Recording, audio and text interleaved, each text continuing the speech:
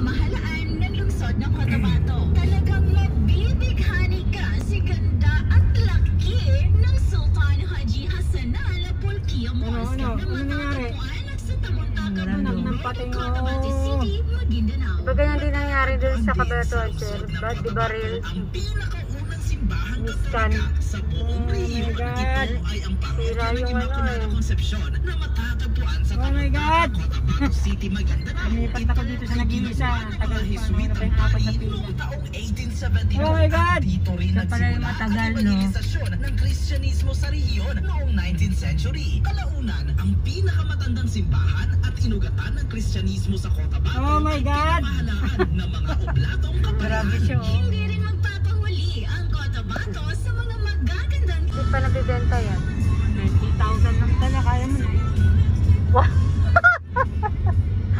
Hindi sa 50 yung gusto ko. Apat na buwan. Sabi, na, sabi, kailangan pa abutin ng 20 yung van ko dahil may, ano eh, kaltas pa.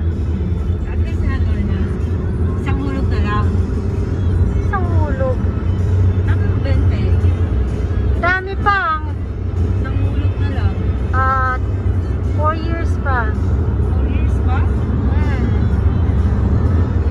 Eh, bukas mananalo na ako sa loto. Tama, tama. Uy, may nanalo na raw ng 200. Oo, Naka, taga-ulan. Oy, kakainis naman. Sabi ko, at least nakaambag kami doon. Mataya kami.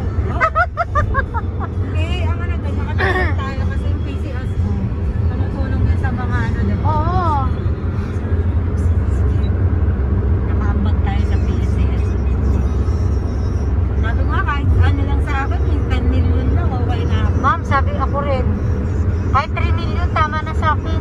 Basta meron. Sabi ko nga sa mister ko. Yung tataya natin, inipon natin, pambayad Oo. yan ng ano. Pares tayo. Sabi ko, kung natin. Sigurado, sigurado pa. Sabi nila